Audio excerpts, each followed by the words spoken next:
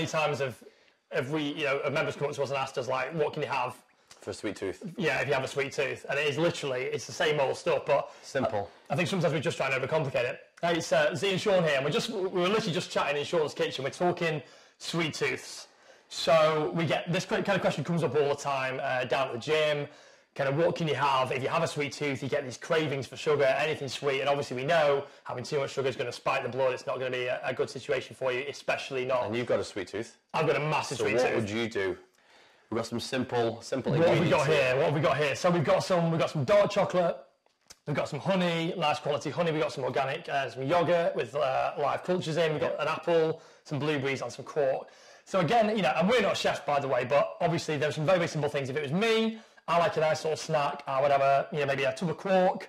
I'll pop Would you, some. would you have the full tub? Um, for me, if it, it depends if I was having it, you know, as, as part of my, depending on what my calories were for that particular day, I would sometimes go for a full tub, or if I'm if I'm having a little snack, it would maybe just be half a tub, Okay.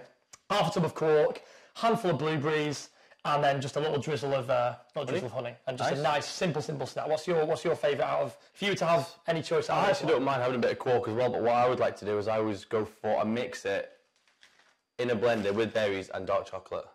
okay. So just blend out, you know, just, then just turn it into a bit of a shake. What? So quark, so Quark. half a tub of quark, Berries handful of berries. and two two pieces of dark chocolate. Okay. Any water with that to make it into Yeah. a, like a shake? Okay. three, four hundred mil.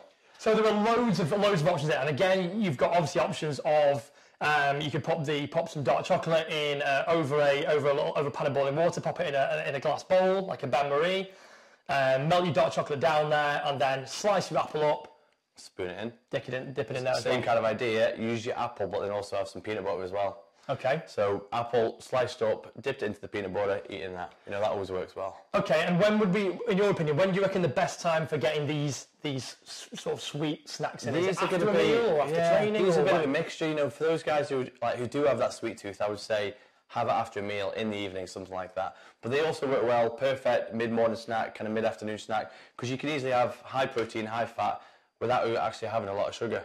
Like for example, that's obviously dark chocolate, but you know the sugar content in it is going to be very low. This is 99% dark chocolate, this one, isn't yeah, it? So I'm maybe. not sure if that's legit. That 99. Yeah, that could be a mistake. Maybe a little bit bitter for some. I mean, you would say minimum into if you're going to go for chocolate, obviously milk chocolate is going to be pretty much out unless Yeah. you're you're having a bit of a cheat day. But this 85% or, or more. yeah, 85% or more. Okay, awesome. So there you go, guys. Obviously, Sean and Z here. We're going through sweet tooth treats, tips, and tricks to uh, if you if you get that craving, keep it at bay, and obviously giving you some slightly healthy options. We'll see you again soon. Cheers. Bye bye.